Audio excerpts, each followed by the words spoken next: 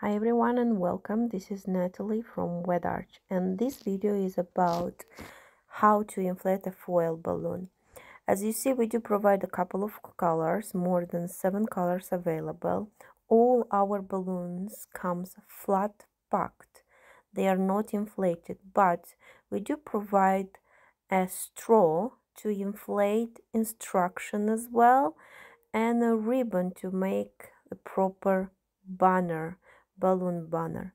How to inflate it's very easy. You just insert the straw very carefully into the valve and blow. Some of the balloons they look funny so don't be scary. So at the end they will take a proper shape. As you see the P it comes exactly into a perfect shape. As soon as you're happy with inflation, don't overinflate please. Just pinch and remove the straw and how to do an actual bunting banner is very easy.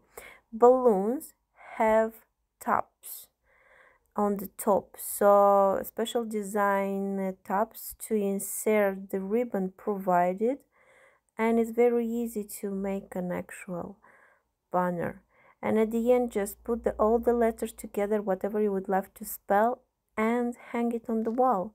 So thank you very much and if you'd love to order welcome and follow the link below. Bye for now. Bye bye